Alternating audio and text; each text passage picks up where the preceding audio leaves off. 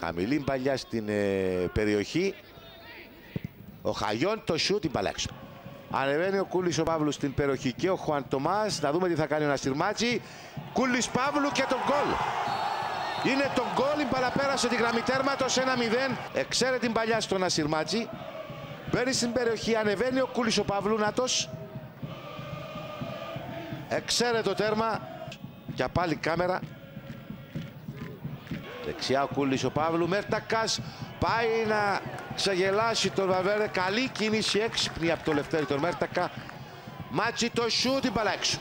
Ο Λαούτη πλασαρίστηκε και ο Κρικαλασβίλη. Πίσω από την άμυνα ο Χαγιόρ χάνει την μεγάλη ευκαιρία.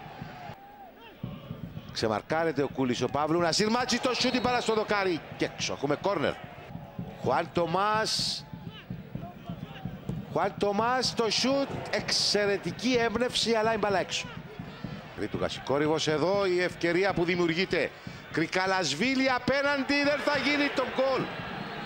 Δεν έβγαλε το που κάμισε. Να δούμε εδώ τον Ιβάνκο. Βιτάλη Ιβάνκο κάνει το 2-0 για την ΑΕΚ. Έτσι είναι το ποδόσφαιρο. Σε τιμωρεί. Και την έκανε την καλή κίνηση γιατί δεν τον κυνήγησαν οι αμυντικοί. Δέστε τι κάνει ο Ιβάνκο. Είναι πέντε αμυντικοί της ανόρθωσης εκεί. Ο Χαγιόν. Αβραμ Φοφανά αριστερά. Αβραάμ επιχειρεί το σουτ, άλλαξε πορεία και καταλήγει στα δίχτυα. Μειώνει η ανόρθωση στο 86ο λεπτό. Επιχειρεί το σουτ ο Ανδρέας ο Αβραάμ, χτυπά στον Σερτσίνιο Γκριν, αλλάζει πορεία.